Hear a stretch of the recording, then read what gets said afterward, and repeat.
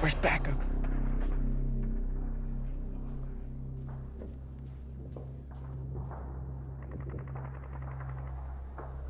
That was our backup. I can't send anymore. We both know that's a lie. You just don't care about the rest of us who are actually brave enough to be out here. Aaron, come on. You know that's not true. I just can't risk the monsters getting in. Just keep the doors open a little longer. I can still make it. I just got distracted.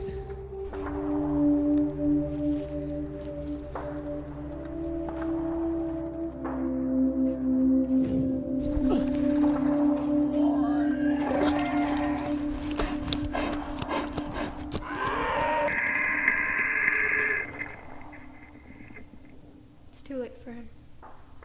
Lock this place up.